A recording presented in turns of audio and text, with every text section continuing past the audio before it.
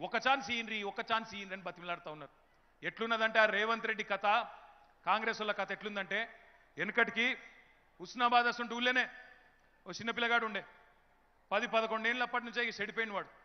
చిన్నప్పటి నుంచే చదువు రాలేదు. జరద బుక్కుడు గుట్కా బుక్కుడు బీడీలు దాగుడు అన్ని గలీజ్ పనులు అలవాటైనాయి. అట్లనే పెరిగి పెరిగి పెరిగి పెరిగి పదకొండేళ్ళ నుంచి ఇక పదిహేడు పద్దెనిమిది ఏళ్ళకి అట్లే పెరిగిండు.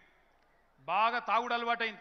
చదువు లేదు సంధ్య లేదు అన్ని చెడు తిరుగుళ్ళు ఆఖరికి ఒక రోజు బాగా తాగిండు హోస్లో లేడు. ఇంకా తాగాలనిపించింది పైసలు లేవు.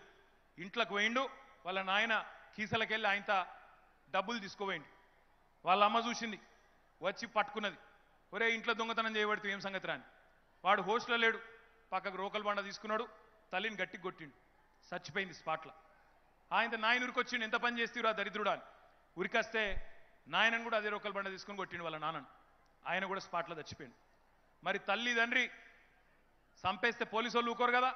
పట్టుకున్నారు తీసుకుపోయి జైల్లో పెట్టింది ఇక జైల్లో పెట్టినాక మళ్ళీ శిక్ష చేయాలి కదా? తీసుకొచ్చి జడ్జి గారు ముంగటి నిలబెట్టింది ఆ జడ్జి గారు మా సతీష్ అన్న లెక్క చాలా మంచోడు చల్లటి మనిషి. జడ్జి గారికి ఆ పిల్లగాని చూసినట్టు కిందికెళ్ళి మీదకి. అరే నేను నా జీవితంలో ముప్పై నలభై ఏళ్ళల్లా చాలా మంది గలీజ్ గాళ్ళని చూసినా చాలా మంది లత్కోర్ గాళ్ళని కూడా చూసిన ఆఖరికి రేవంత్ రెడ్డిని కూడా చూసిన కానీ నీ అంత గలీజ్ గారిని అయితే చూడలేదురా. సొంత తల్లిదండ్రినే చంపినావు. నీకేం శిక్ష చేయను నాకైతే తోస్తలేదురా బై నువ్వే చెప్పి కాల పెట్టన్నాడట. అంటే అప్పటిదాకా వాడు రొమ్మిర్చుకొని ఇట్లా బరాబర్ నిలబడ్డాడు ఎక్దం రెండు చేతులు కట్టుకొని అయ్యా నేను తల్లిదండ్రి లేని అనాథని సార్ నన్ను ఇడిచిపెట్టి సార్ అన్నట్టు వాడు. ఇప్పుడు కాంగ్రెస్ వాళ్ళ కథ కూడా గట్లే ఉన్నది. నిన్న మొన్నటి దాకా సావగొట్టింది ఎవడేమన్నాను కాంగ్రెస్ వాడు కాదా? కరెంటు ఇయ్యక సావగొట్టినోడు వాడే నీళ్ళు ఇయ్యక సావగొట్టినోడు వాడే తాగునీరు ఇయ్యక సావగొట్టినోడు వాడే కుల వృత్తులను నాశనం చేసింది వాడే ఊళ్ళను సర్వనాశనం చేసింది వాడే.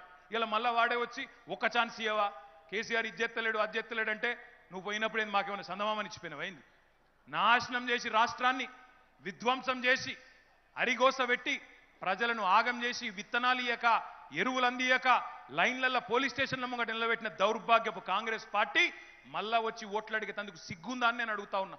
అసలు ప్రజలు మర్చిపోయింది అనుకుంటున్నావా? ప్రజలకు తెలివి లేదనుకుంటున్నావా హుస్నాబాద్లో నేను మీకు ఒకటే గుర్తు చేస్తా ఉన్నా.